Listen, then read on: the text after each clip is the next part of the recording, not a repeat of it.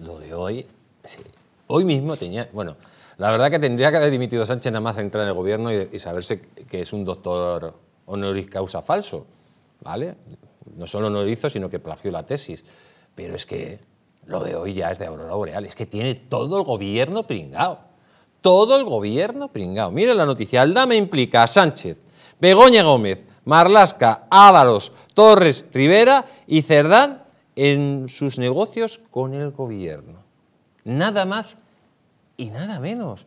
Pero es que, además, como dice usted, y lo dice muy bien, y le ha adelantado Aldama, que, que no se preocupe, que tiene todas las pruebas, es que tiene que tener todas las pruebas.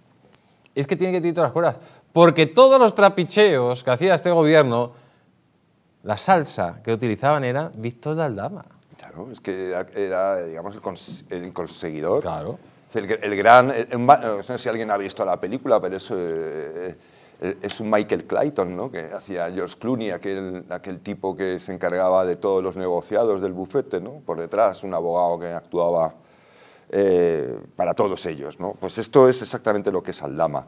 Ahora, lo que mm, hay que estar muy atentos es que sabemos ya eh, que, a pesar de que esto es una bomba, es un auténtico bombazo, y que un- una mitad de la mitad de este bombazo en cualquier país de, alrededor, democrático, en Francia, en Inglaterra, en Portugal, eh, habría mm, acabado con el gobierno instantáneamente, no con el presidente, sino con el gobierno, eh, aquí no va a suceder eso. Me temo que no va a suceder.